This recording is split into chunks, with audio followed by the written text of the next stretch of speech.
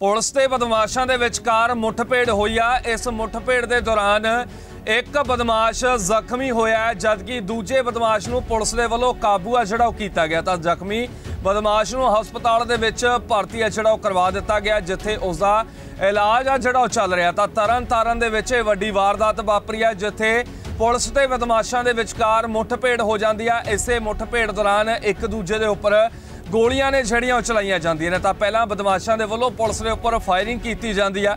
ਜਵਾਬੀ ਕਾਰਵਾਈ ਦੇ ਵਿੱਚ ਜਦੋਂ ਪੁਲਿਸ ਦੇ ਵੱਲੋਂ ਫਾਇਰਿੰਗ ਕੀਤੀ ਗਈ, ਗੋਲੀਆਂ ਚਲਾਈਆਂ ਗਈਆਂ, ਤਾਂ ਉਹਨਾਂ ਗੋਲੀਆਂ ਦੌਰਾਨ ਇੱਕ ਬਦਮਾਸ਼ ਆ ਜਿਹੜਾ ਉਹ ਜ਼ਖਮੀ ਹੋ ਜਾਂਦਾ ਤੇ ਇੱਕ ਬਦਮਾਸ਼ ਨੂੰ ਪੁਲਿਸ ਦੇ ਵੱਲੋਂ ਕਾਬੂ ਆ ਜਿਹੜਾ ਉਹ ਕਰ ਲਿਆ ਜਾਂਦਾ। ਤਾਂ ਜ਼ਖਮੀ ਬਦਮਾਸ਼ ਨੂੰ ਹਸਪਤਾਲ ਦੇ ਵਿੱਚ ਇਲਾਜ ਦੇ ਲਈ ਭਰਤੀ ਆ ਜਿਹੜਾ ਉਹ ਕਰਵਾ ਦਿੱਤਾ ਗਿਆ। ਤਾਂ ਇਹ ਬਦਮਾਸ਼ ਲੋਕਾਂ ਨੂੰ ਫੋਨ ਕਰਦੇ ਸਨ। ਲੋਕਾਂ ਤੋਂ ਫਰੌਤੀਆਂ ਮੰਗਦੇ ਸਨ ਤਾਂ ਲੋਕਾਂ ਦੇ ਵੱਲੋਂ ਜਦੋਂ ਸ਼ਿਕਾਇਤ ਦਿੱਤੀ ਗਈ ਤਾਂ ਪੁਲਿਸ ਨੂੰ ਇਤਲਾਹ ਮਿਲਦੀ ਆ ਕਿ ਇਹ ਬਦਮਾਸ਼ ਇੱਥੇ ਲੁਕੇ ਹੋਏ ਨੇ।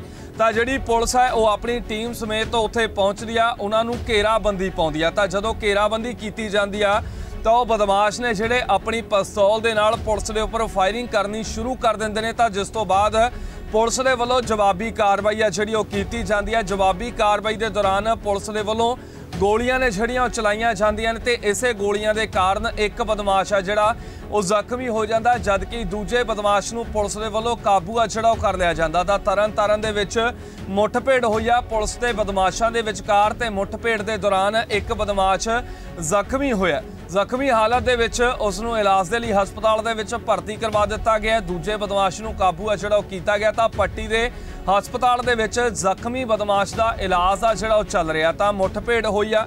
ਪੁਲਿਸ ਤੇ ਬਦਮਾਸ਼ਾਂ ਦੇ ਵਿਚਕਾਰ ਇਹ ਬਦਮਾਸ਼ ਨੇ ਜਿਹੜੇ ਲੋਕਾਂ ਤੋਂ ਫਿਰੌਤੀਆਂ ਮੰਗਦੇ ਸਨ।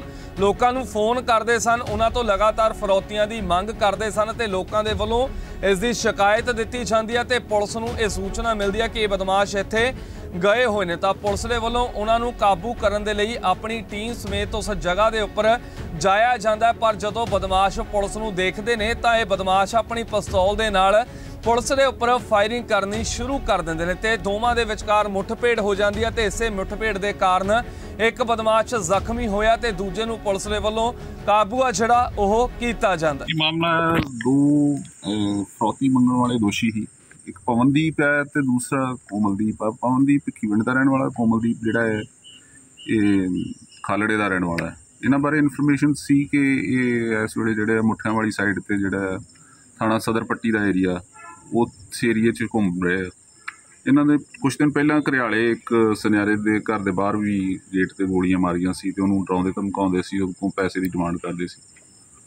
ਅੱਜ ਇਨਫੋਰਮੇਸ਼ਨ ਮਿਲਣ ਤੇ ਅਸੀਂ ਟੀਮ ਸਪੈਸ਼ਲ ਟੀਮਾਂ ਤਿਆਰ ਕਰਕੇ ਜਦੋਂ ਇਹਨਾਂ ਨੂੰ ਕਾਬੂ ਕਰਨ ਦੀ ਕੋਸ਼ਿਸ਼ ਕੀਤੀ ਔਰ ਭੌਵਾਲ ਤੋਂ ਮੁੱਠਿਆਂ ਵਾਲੀ ਰੋਡ ਤੇ ਬੰਨ ਦੇ ਉੱਪਰ ਇਹਨਾਂ ਨੇ ਜਦੋਂ ਇਹਨਾਂ ਨੂੰ ਕਾਬੂ ਕਰਨ ਦੀ ਕੋਸ਼ਿਸ਼ ਕੀਤੀ ਤੇ ਇਹਨਾਂ ਨੇ ਗਾੜੀ ਨੂੰ ਫਾਇਰਿੰਗ ਕਰ ਦਿੱਤੀ। ਹੈ ਪੁਲਿਸ ਨੂੰ ਵੀ ਜਵਾਬੀ ਫਾਇਰਿੰਗ ਕਰਨੀ ਪਈ।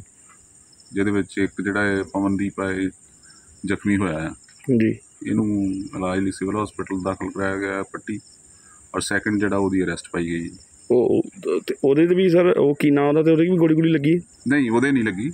ਇਹ ਕੋਮਲਦੀਪ ਹੈ ਇਹਨਾਂ ਕੋਲ ਇੱਕ ਗਲੌਕ ਪਿਸਟਲ ਮਿਲਿਆ ਨਾਲ ਜਿੰਦਾ ਕੌਰ ਰੌਂਦ ਮਿਲੇ। ਅਹ ਜਵਾਬੀ ਖੋਲ ਮਿਲੇ ਆ ਜਿੰਦਾ ਖੋਲ ਜਿਹੜੇ ਫਾਇਰ- ਚਲਾਏ ਸੀ। ਫਾਇਰਿੰਗ ਪੁਲਿਸ ਤੇ ਕੀਤੀ ਪਹਿਲਾਂ ਇਹਨਾਂ ਨੇ? ਪਹਿਲਾਂ ਪੁਲਿਸ ਤੇ ਫਾਇਰਿੰਗ ਕੀਤੀ ਨਾ ਤਾਂ ਜਵਾਬੀ ਫਾਇਰਿੰਗ ਕਰਨੀ ਪਈ ਪੁਲਿਸ ਨੂੰ। ਠੀਕ।